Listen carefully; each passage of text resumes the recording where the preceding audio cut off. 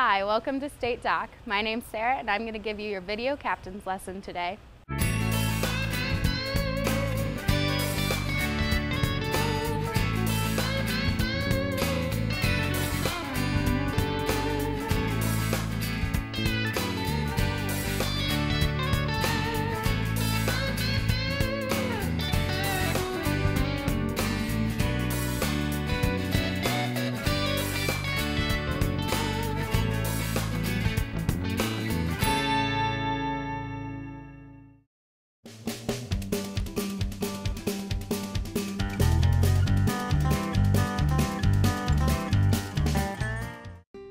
Here at the helm of the boat.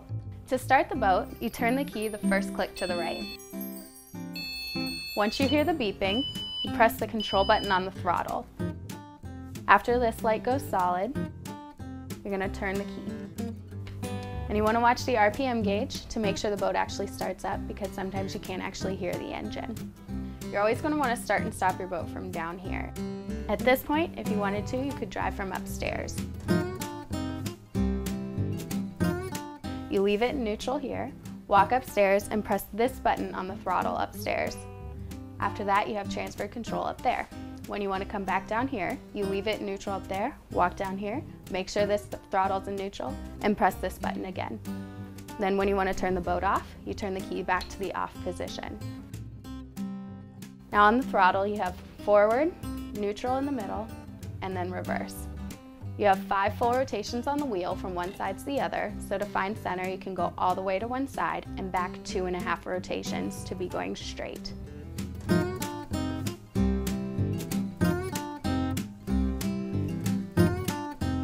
You do have 255 gallons of fresh water on the boat. That is City of Jamestown drinking water and that goes to all of your sinks in the bathrooms and the kitchen. Your freshwater pump is right here. You want to leave this flip forward at all times unless you notice you have run out of fresh water, in which case you do want to flip that off so you don't burn the pumps. Your lake water pump is right here. You want to leave this flip forward at all times. Filtered lake water does go to your showers, toilets, and hot tub. However, that does mean that you do not want to take a shower, flush your toilets, or fill your hot tub while your boat's actually in motion because it's going to try and pull water up and it might airlock the pumps.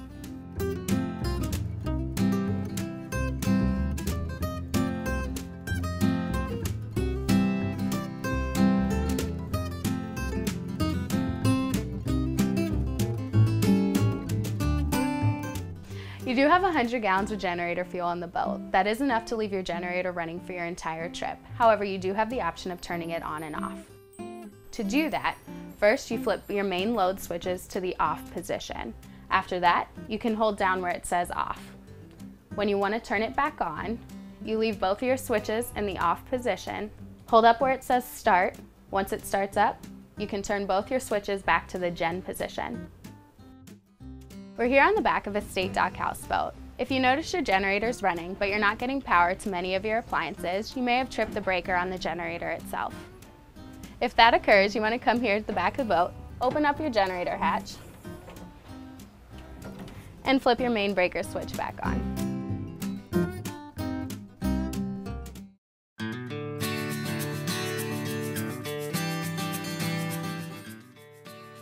Tying up a houseboat properly is essential to a successful houseboat trip. Most houseboaters beach the boat to tie up overnight. The best locations are in a cove and out of high traffic areas, such as the main lake, to avoid wave action from boats passing by. There are thousands of coves and nice areas to tie up. Look for a gradual bank with trees, stumps, or large boulders to tie to approach the bank very slowly. Houseboats don't stop very quickly. Once you have made contact with the shore, put the boat in forward to hold the boat against the shore. If the wind begins blowing the boat, steer the boat to compensate. The driver should stay at the helm throughout the tie-up process to keep the boat straight. Ropes should now be run from the rear cleats of the boat at an angle of 30 to 45 degrees to objects on shore. Tie the upwind side first and then cleat off the back.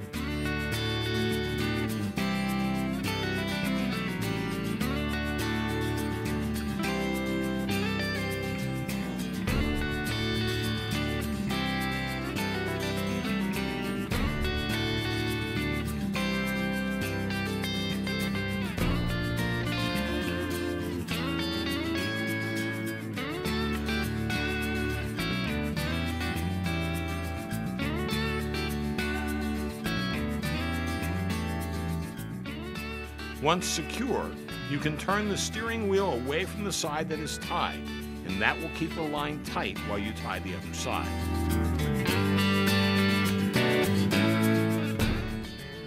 Here are some keys to remember.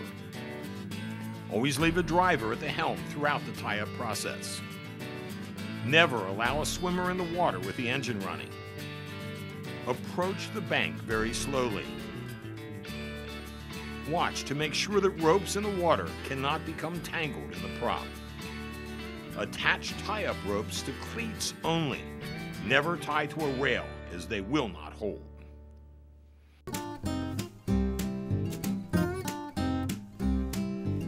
Many of the boats are equipped with Sirius satellite radio. Now you want to take your time changing the channels. Wait for the music in between each one before you go on to the next.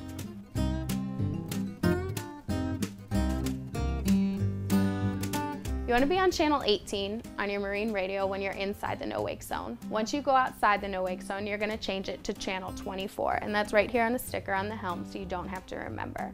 The 24 is our maintenance channel. If you ever have any problems with the boat, you're gonna go ahead and call in on 24 and let us know. First, we'll try and help you over the radio and help you help yourself. However, if we cannot do that, we're gonna ask for your coordinates off your GPS. You read those off and we'll know your location so we can send someone out to help you. Then at the end of your trip, when you enter the no-wake zone again, you wanna change your radio back to 18, call in then and let us know that you're here. State Dock, this is 901. We are inside the no wake zone. We'll give you all your checkout instructions and have you continue around until you're directly out from the fuel pier. And we'll send a driver out to bring you in. If you're ever confused or lost during your trip, you can mm-hmm. match up your coordinates on your GPS to the map that we've provided to find your location on the lake. It is important to have fun on your vacation. However, you do need to remember a couple things to keep everyone safe. Never drive your boat with swimmers in the water. And when you're jumping off the top, make sure you jump off the sides and not the back.